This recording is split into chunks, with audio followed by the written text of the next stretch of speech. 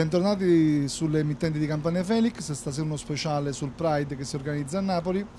Eh, diamo il benvenuto al Presidente della seconda municipalità, Francesco Chirico, benvenuto su Campania Felix. Grazie. Um, oggi è sabato 3 luglio, siamo lieti naturalmente di vedere tanta gente per strada che gode delle bellezze della nostra città. Francesco, quanto era importante la ripartenza? Ma è stata fondamentale, soprattutto il centro della città ha sofferto in modo particolare eh, proprio la contrazione di, di, persone, di turisti, di attività eh, dovute al Covid. Eh, molte aziende sono state davvero sull'orlo del collasso, molte purtroppo non ce l'hanno fatta, soprattutto quello che mi, mi preoccupa è eh, la mole di lavoro e di indotto che c'era intorno al turismo e quindi penso ai tanti ragazzi eh, dei quartieri spagnoli per esempio o di altre zone della città impegnati nei mesi prima della pandemia nelle attività di ristorazione che adesso sono in difficoltà perché appunto c'è meno lavoro, c'è meno gente ma pian piano vedo, inizio a vedere, qualcuno mi diceva i quartieri spagnoli qualche settimana fa in un giro che facevo, Presidente sentimmo rumore e chi li cose, chi li cose erano i trolley, quindi questo è un segnale molto positivo. Quindi diciamo il rumore dei trolley paventano il ritorno alla grande per il territorio della città di Napoli della venuta dopo post-Covid di tutta una serie di persone legate al turismo. Ecco, per l'appunto parliamo di turismo, il Pride a Napoli, espressione naturalmente di libertà, noi siamo promotori di un'iniziativa diciamo, a favore della libertà di espressione, di amore, di tutto. Eh, tra le piazze avete scelto la eh, piazza Dante. Voi avevate tante piazze da scegliere, come mai avete eh, scelto Piazza Dante? Ah, questa è una scelta che fa l'organizzazione del Pride napoletano e devo dire noi come municipalità uh, abbiamo sempre accolto uh, non solo con la nostra partecipazione ma anche proprio votando degli ordini del giorno che andavano nella direzione della vicinanza al Pride e dell'adesione ufficiale da parte della municipalità perché devo dire abbiamo fatto un grande lavoro anche di sensibilità rispetto a quelle eh, forze politiche che, che, non sono proprio vicine al mondo LGBTQI ma invece eh, nell'ambito del territorio della municipalità eh, si è avuta anche quella maturità eh, di capire che oggi eh, ancora continuare a parlare di diversità, ancora iniziare a parlare di, di genere è qualcosa di sbagliato. Basti pensare che eh, se restiamo sul tema della natura, la biodiversità è un concetto assolutamente positivo, anzi estremamente necessario per, il, per la nostra sopravvivenza e quindi insomma andare lì a, a a, a, dare dei giudizi, a soffermarsi sulla, eh, sul gusto sessuale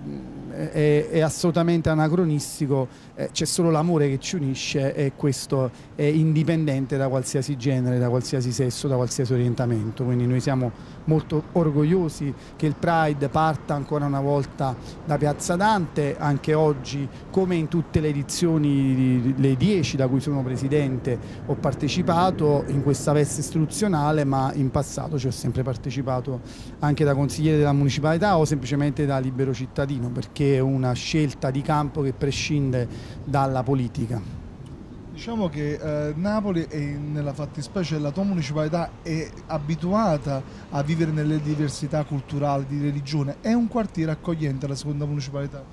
Assolutamente sì, anche eh, ripeto come municipalità abbiamo fatto, istituito la consulta delle pari opportunità negli anni passati, siamo stata l'unica municipalità che è riuscita a mettere insieme il mondo di associazioni che appunto si occupassero nella declinazione di pari opportunità non solo però legate al, al concetto della differenza uomo-donna ma pari opportunità appunto come possibilità di accesso di tutti agli stessi diritti, agli stessi obblighi, alle stesse opportunità appunto. Uh, ora diciamo, uh, abbiamo parlato del Pride, delle, delle, iniziative naturalmente legate al turismo, ma fondamentalmente mi interessa uh, una cosa. Dopo dieci anni ormai di presidenza di questa municipalità, questa esperienza di presidente cosa ti ha lasciato? Al di là della battuta facile sulla stanchezza, ma non è vero, i capelli bianchi, ma devo dire che mi ha lasciato Uh, innanzitutto la consapevolezza che se si vuole essere un, un buon amministratore, un politico serio, non bisogna avere fretta fretta eh, nel fare le scelte. Mi spiego, eh, se l'azione politica e amministrativa segue il ritmo delle tornate elettorali commette un errore gravissimo, ma piuttosto bisogna occuparsi del benessere delle, dei cittadini, di lavorare sul territorio, ascoltare eh, gli stakeholder o comunque chi ci vive quotidianamente e lavorare appunto avendo una visione. La visione deve essere necessariamente di lungo periodo. Se in questi anni io avessi avuto sempre fretta eh, inseguendo le elezioni che si susseguono ormai ogni due anni, eh, non sarei stato né un bravo amministratore né un politico serio.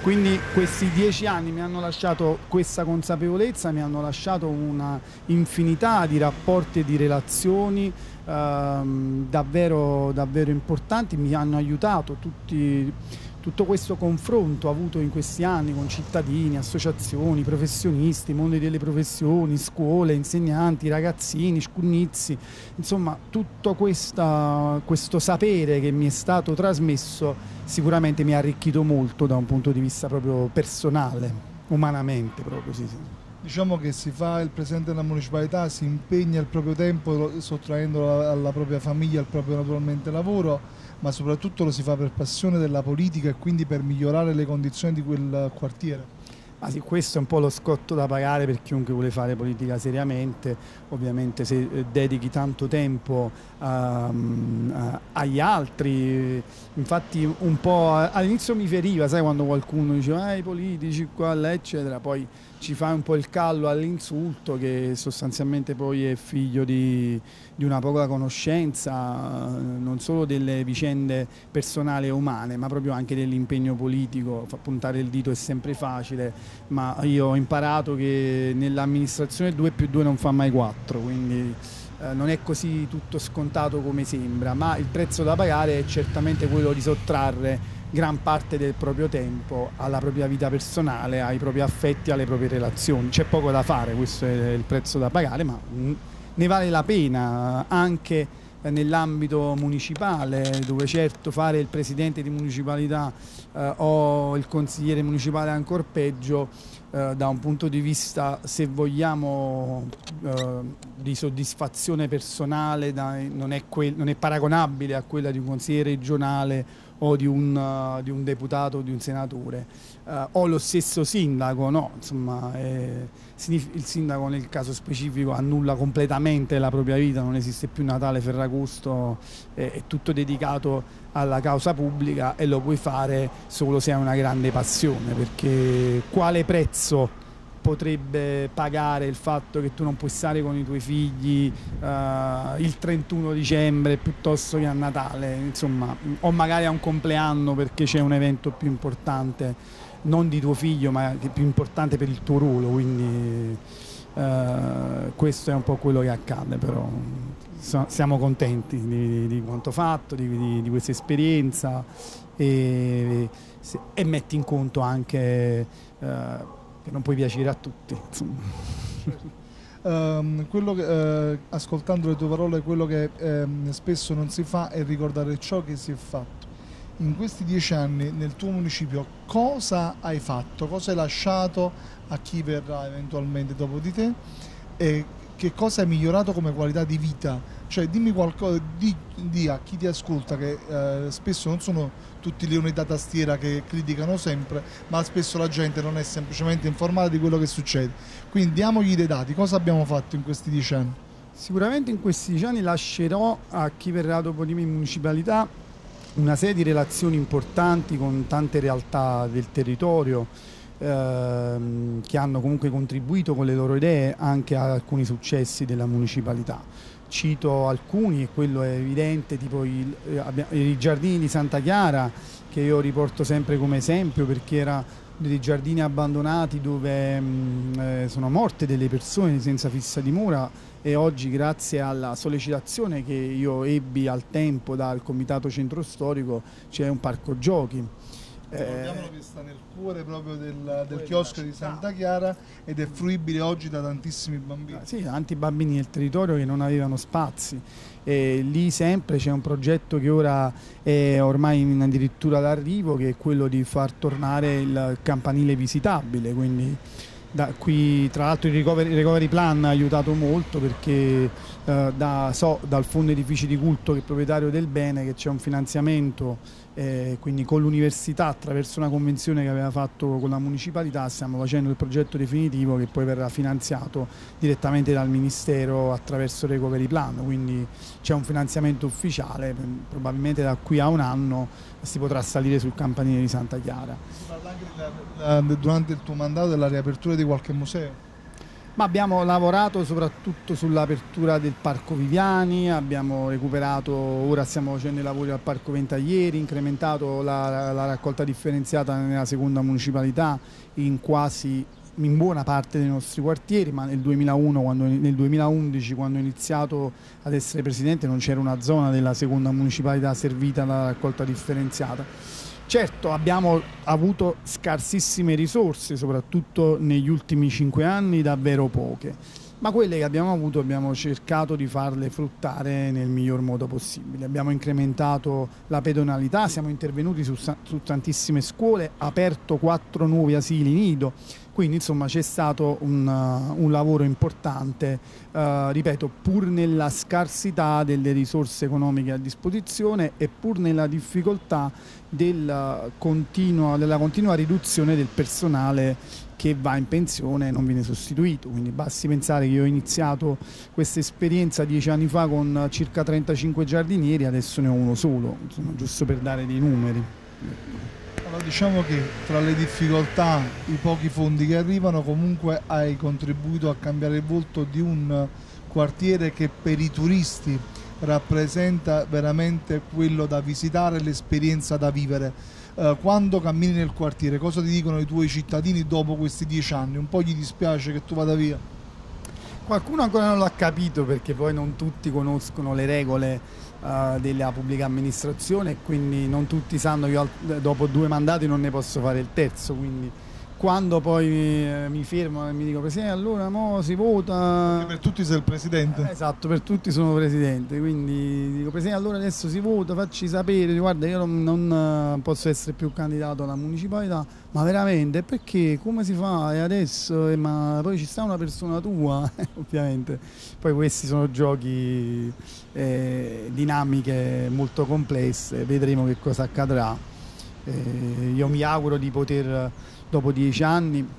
dire la mia eh, su quello che possa essere eh, il prossimo presidente, però è altrettanto evidente che è una fase politica così liquida. Eh, io stesso sono stato nelle ultime settimane eh, in difficoltà perché termina un progetto che è quello di De Magistris dopo dieci anni e non tutto è scontato, quindi io ti dico oggi non sono ancora nelle condizioni di dire chi sosterrò alle prossime elezioni comunali e né tantomeno se io sarò candidato al Consiglio Comunale perché voglio dire si può fare politica anche non essendo eletto, non stando nelle istituzioni, dopo vent'anni qualcosa in questa città e soprattutto in quel territorio credo di averlo detta, qualcosa l'ho fatta e diciamo, sono soddisfatto di, di quanto fi, finora sono riuscito a realizzare ora vedremo se ci sono le condizioni e se c'è un progetto eh, interessante eh, in cui valga la pena eh, ancora spendere tempo ed energie eh, sottraendole appunto alla propria professione, alla propria famiglia, ai propri affetti. Diciamo che una delle cose che più ti apprezzano tutti è proprio il tuo spirito di concertazione rispetto alle parti sociali, il fatto che ti fermano per strada è indice che praticamente tu parlavi con ognuno di loro cercando di risolvere le piccole e grandi istanze dei cittadini. Eh, io penso che questo, questo un po' ti mancherà.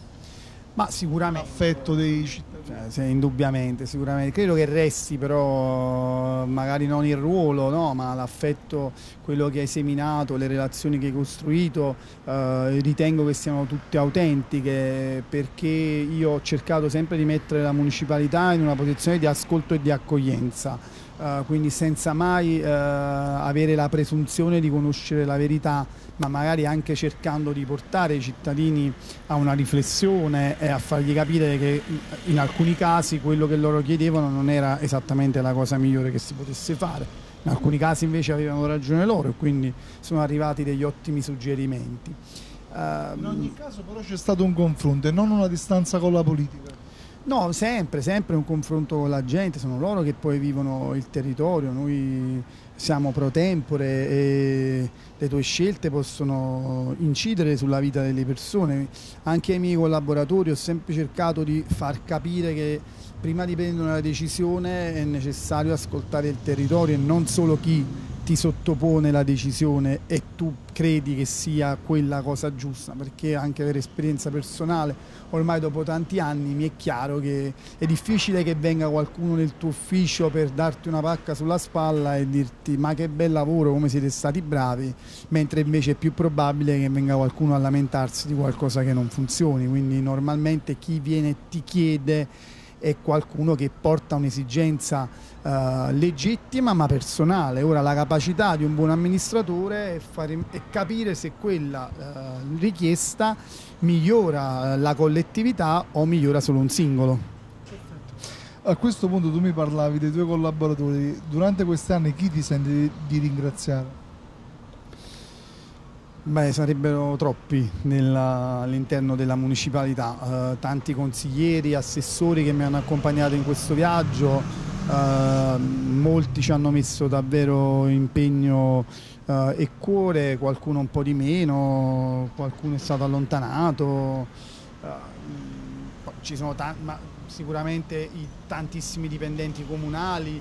i giardinieri che, o i fognatori che con i loro acciacchi e tante e l'età avanzata prossime alla pensione comunque non si sono risparmiati nel loro lavoro, i dipendenti della municipalità che uh, ogni giorno hanno a che fare con decine e decine di persone e, e a volte devono anche avere l'equilibrio di, uh, di sopportare magari chi è venuto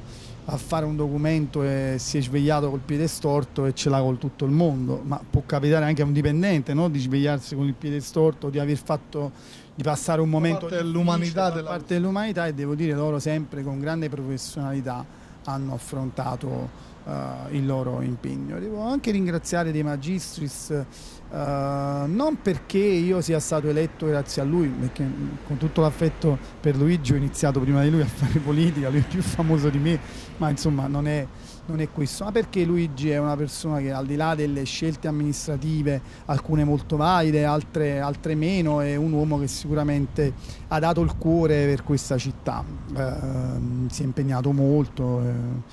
poi ha avuto come tutti un, un, periodo difficile negli ultimi tempi, ora è concentrato sulla Calabria, gli facciamo i migliori in bocca al lupo perché riesca in quella che è la sua seconda terra sostanzialmente. Quindi tu diciamo, parti da un augurio per la sua campagna elettorale su un altro territorio come eh, presidente della regione Calabria, in realtà però vorrei che tu lasciassi i tuoi contatti per far scoprire a coloro i quali vedranno questa intervista se la tua diciamo, carriera politica in qualche modo vada avanti. Quali sono i tuoi contatti dove le persone e chi ci sta seguendo da casa potranno scoprire questa cosa? Ma basta andare su Facebook, c'è sia il mio profilo Francesco Chirico che è aperto, sia la pagina, uh, sempre Francesco Chirico, la si trova, um, molto semplice insomma. Io ti ringrazio per questa chiacchiera amabile, ti auguro un buon proseguo di serata e grazie a tutti, buonasera. Grazie, grazie a te e saluti a tutti.